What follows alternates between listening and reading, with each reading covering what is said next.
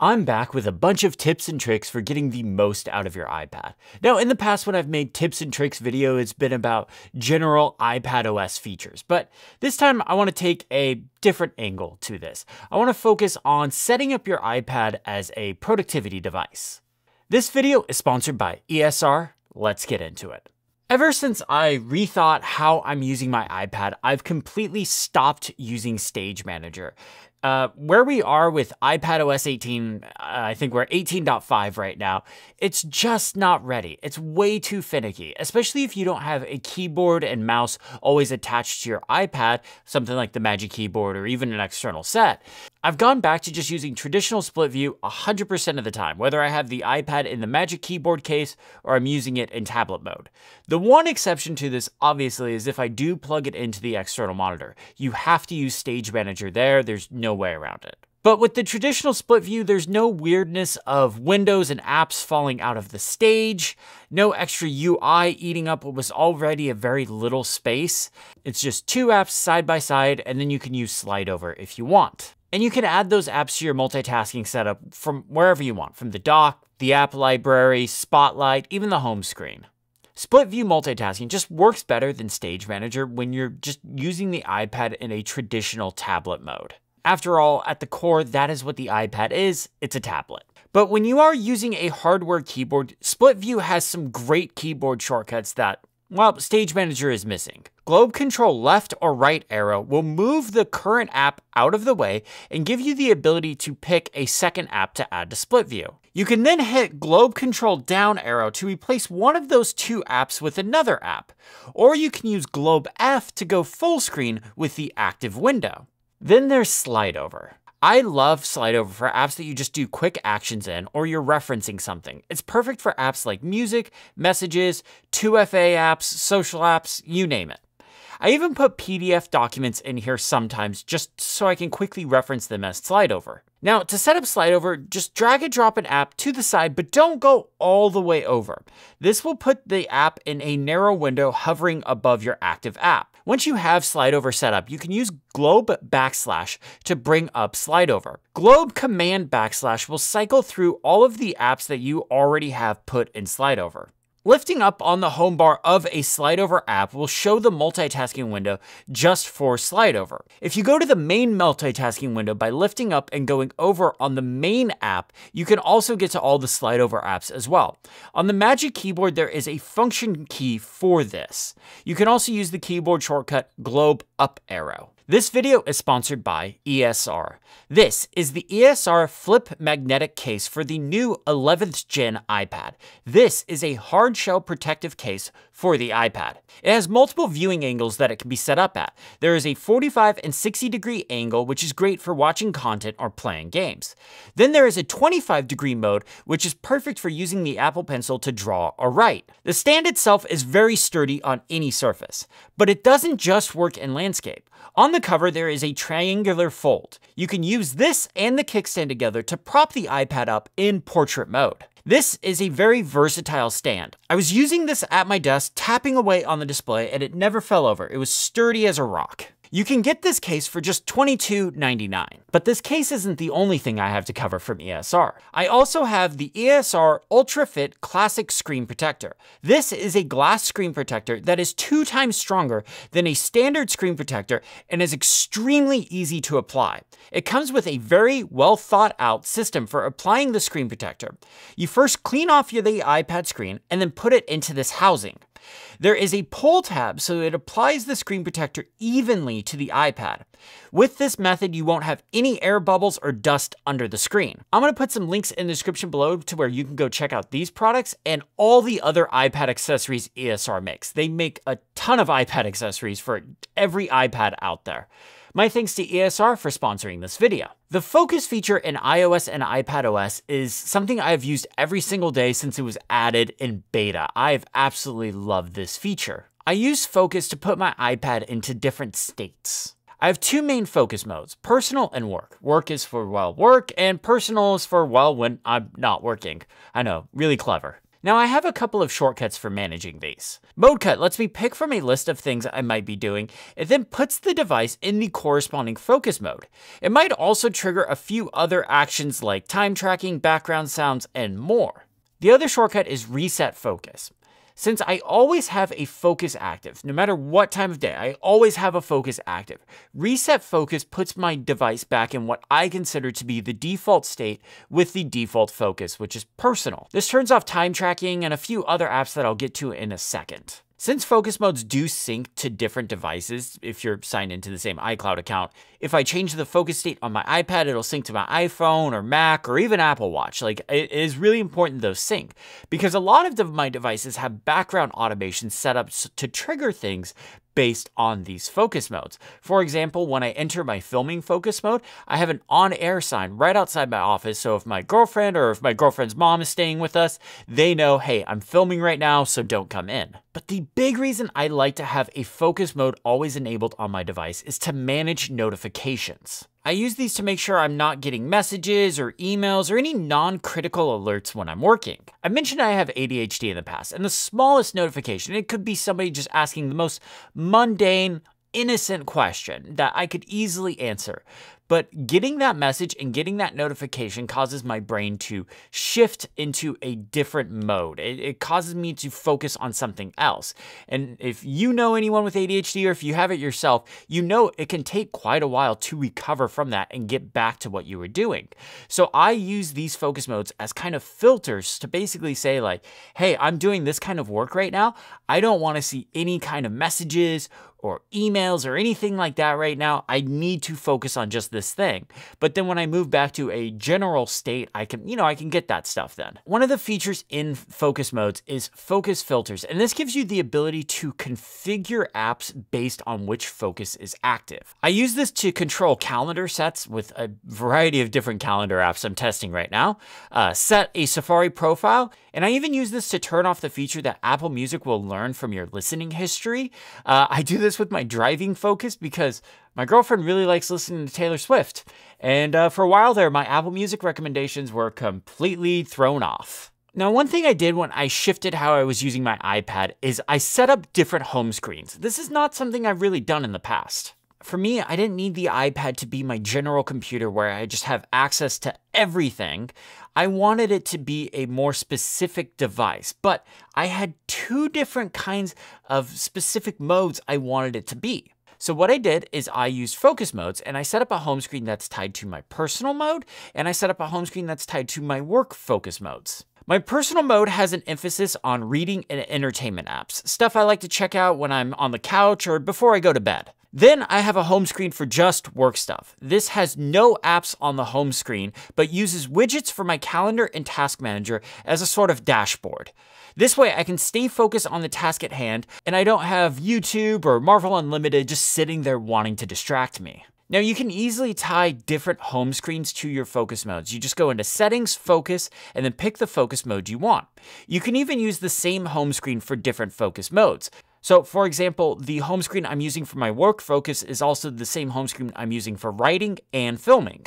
I really like this. This really helps separate the two different ways that I am using my iPad. No need for me to buy two different iPads and set them up differently. I just went in and used a built-in feature in iPad OS to set them up with essentially two different profiles. Now, I do have the dock set up with apps that I would use in both of these modes. Files, Safari, Obsidian, my task manager and calendar, and I'm doing a couple of experiments right now, so that's changing a lot. GoodNotes, Fiery Feeds, Raindrop.io, Shortcuts, and my Action Cut shortcut. If you ever need extra space for your dock, you want to add more apps to your dock, you can actually turn off the recent apps to add more apps, what, what you pick, into the dock. Go into Settings, Home Screen, and App Library and turn off Show Suggested and Recent Apps in the dock. This will give you up to three more spots in your dock. One of my favorite categories of kind of a new recent app that's been popping up are these focused apps. These take advantage of a fairly newish screen time API that allows you to basically block apps or limit apps to a certain point. Now, I've tried a bunch of these apps, but the one that I like the best is Focused OS. Now, technically, this is just an iPhone app, so it runs in compatibility mode on the iPad. This app has two parts to it. The first part is an ambient noise for focusing on your work. That's fine, but I have another app that I like using for that stuff already. But like I mentioned, it has the ability to block apps and websites when enabled. You can set up different environments for different modes you may work in. I just have a general work one. In here, I set up a block list. I added all the apps and websites that pull my focus and aren't relevant to my core workflow. I use my Modecut shortcut and the shortcut actions from Focus OS to enable and disable the environments. For example, if I pick video projects from Modecut, it gets enabled. If I run reset focus, the environments get disabled and I can use any app again. If you do have a block set up, but you need to access one of the blocked apps for a small amount of time, you can go into Focus OS and snooze it.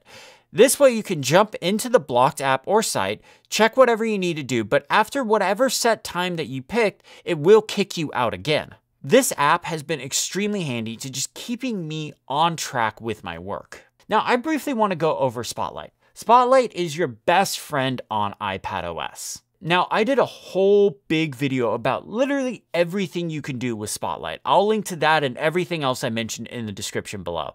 Go check it out. That there it's a big video and there's a lot you can do with Spotlight. But I do want to point out a few things in this video. Spotlight can do a lot more than just open apps. It's a calculator, you can use it for unit conversions like uh, measurements. You can run shortcuts and look up information about person, places, or things. Now, most people know when you're on the home screen of iPadOS or even your iPhone, you can just swipe down and that's how you get to Spotlight. And if you have a keyboard attached, you can hit Command Space and this will bring up Spotlight anywhere in iPadOS if you have an app open or if you don't. But if you are in tablet mode and you have an app open, there's not really a great way to open up Spotlight. There is a way you can do it. You have to bring down Notification Center and then swipe down exactly in the middle of the screen, and this will bring up Spotlight, and you can use it that way. It might just be easier to go home. I really wish Apple would give Spotlight a proper software trigger in iPadOS so you can just trigger it quickly when in tablet mode. My immediate thought on how they could do this is right now you can double tap the home bar and that brings up Type to Siri. Well, merge Type to Siri with Spotlight that double tap to home bar, bring up Spotlight, and you can do type to Siri in there. Customizable control centers were introduced in iPadOS 18, and I love this feature. Now with this, you can set up a bunch of different pages to do a bunch of different shortcuts, but I only actually have two pages. On my first page, there is a lot of different quick action system controls and shortcuts to features in apps I use a lot. Now, to edit Control Center, just long press anywhere, and this will bring up the jiggle mode for Control Center. I have a large now playing widget at the top for playback controls. This also adds AirPlay controls right here as well. If you long press on it, you can access controls to other devices like HomePods and Apple TVs. I have other things like brightness and volume controls, focus mode controls, control over the lights in my studios, backlight controls for the Magic Keyboard, screen mirroring, the Apple TV remote, I use this all the time, low power mode, and also screen recording. I really wish screen recording had a system-wide keyboard shortcut. That would be handy. Then I have a couple of shortcuts to control system features. Basically, these are features for apps that I want to be able to use no matter where I am in iPadOS or what app I have up. I've been using Todoist as my task manager as an experiment lately, and I'm really enjoying it. I created a shortcut that lets me quickly create a new task and add it into the inbox of the app. I also set up a shortcut for quickly writing a note and adding it to my quick notes folder in Obsidian. Now, both of these shortcuts are designed to just quickly get whatever thought or action that has popped into my head or come up on my screen, just get it out of my head or get it written down as quickly as possible so I don't forget about it. Because I could easily just, you know, have a squirrel moment and forget about it. Todoist actually does have a control center action for creating a task.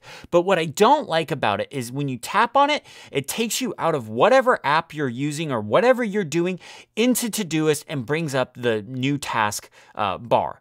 But my shortcut doesn't take you out of whatever app you are in or whatever task you are doing.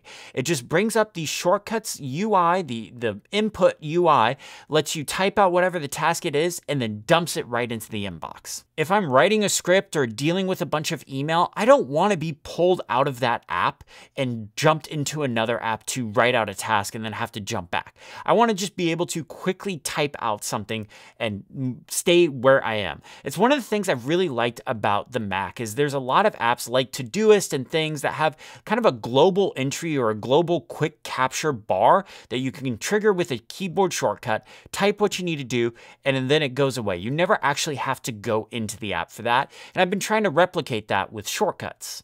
Ultimately, I would love to see these control center actions be able to do that natively without having to use shortcuts to build this. Just give like these control center actions some kind of minimal UI that pops up on top of whatever app you're in.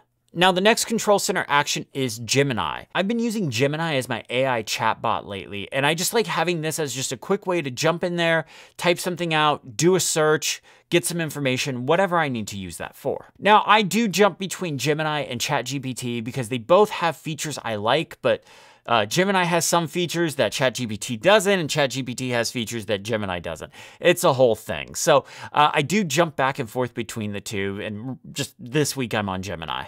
The last row is my commonly used dark noise scene. I love the app Dark Noise and use these to quickly toggle the background sound scenes that I've built. I have a really hard time working in silence, but I also have a really hard time working with music on. I have found background sounds or kind of like lo-fi radio and stuff like that to be the perfect middle spot something that doesn't have lyrics. Uh, you know, it's not quiet. It's not, you know, nothing, but it's also not you know, Van Halen. The last page I have set up in Control Center is just the extra large cellular widget. Uh, I mentioned in the video where I'm downsizing this iPad, uh, I didn't get a cellular one. So this isn't as useful as it used to be for me, but I still use this to connect to different Wi-Fi networks when I'm out and about, or to connect to different Bluetooth devices if it's something that I need to reconnect to because it just didn't connect automatically. Uh, you can also use this to change airdrop settings, which occasionally I need to do. Uh, so it is nice to have this. That's why it's its own separate page. I don't use it a ton, but it's nice when I need it. Now there are a handful of small features I want to highlight in iPad OS. One feature that has become invaluable to me is the More Space Display Resolution feature. In Settings Display, scroll to the bottom and select Display Zoom. In here, pick the More Space option. This runs the iPad at a higher resolution so you can display more content on the screen. I liked this when I worked from the 13-inch model. I love it now that I'm working from the 11-inch model. One thing I do to make using my computers better for me is turn off auto lock. This isn't just an iPad thing I do. I hate when any of my computers, iPhone to Mac, auto lock on me while I'm working. Sometimes I take a pause and use a different device, or sometimes I'm using a device to reference a document but I'm really working on another computer. The lock button is right there on the iPad, or it auto locks when you close it up in a case. Under settings, go to display and then set auto lock to never. When reading or writing, you can highlight a word, sentence, paragraph, or more, and either right-click or long press on it.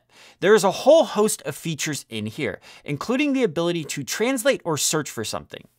If you're unsure about a word or want to look up the definition of it, you can highlight it and use the lookup feature. I use this a lot to double check to make sure I'm using that word properly. Now, something I use quite a bit is the autofill feature. This allows you to add a password from the Passwords app, contact info, which is mainly what I do use this for, or the ability to scan text from a physical piece of paper. Now, I'm not exactly the biggest fan of Apple Intelligence. I find a lot of its features lacking, and the features that did ship not great. There is one exception though. The feature that I do use the most is Proofread. This is under the Writing Tools feature. Now, I ignore all the generative text, all the change the format of my writing, change the tone of my writing stuff. I never will ever want any of that. I write how I write. I don't want AI changing any of that. But how I write is not always grammatically correct, and the spelling is there's always going to be a couple of spelling mistakes. So I do like this feature where I can just highlight some text, have it double check to make sure the grammar's right, the spelling's right, you know, I'm using the proper to or the proper there or whatever.